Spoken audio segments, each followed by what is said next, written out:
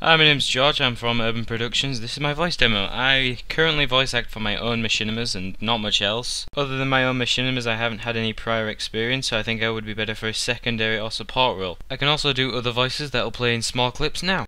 Kill everyone on the ship. You're not supposed to be here.